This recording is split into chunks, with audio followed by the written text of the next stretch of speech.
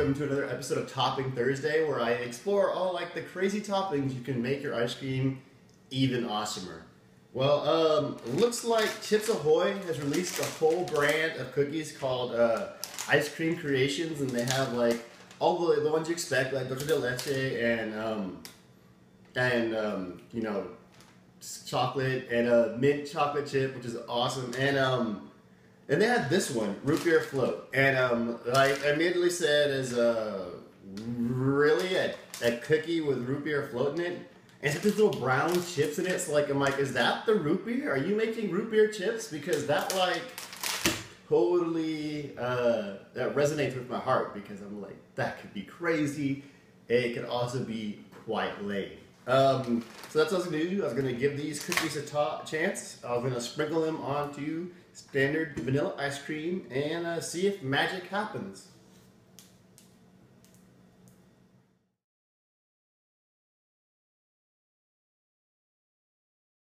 Cookie.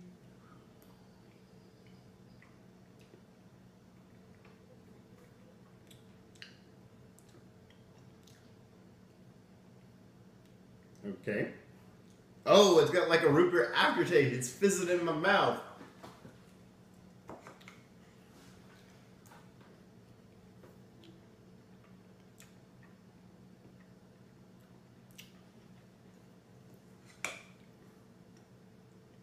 It's just funny. It's like you're drinking root beer, like fizzy's going on back there.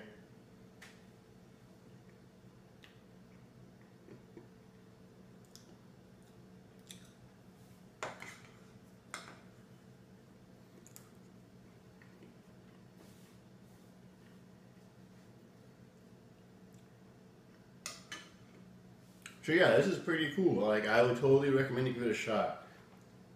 Now I have to see, are these really like root beer chips? What's going on with this?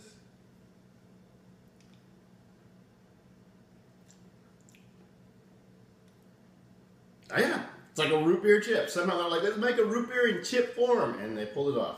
Kudos to you, Chips Ahoy. Y'all are like pushing all sorts of bounds. This is Matt with from Matt Hearts Ice Cream with another episode of Topping Thursday.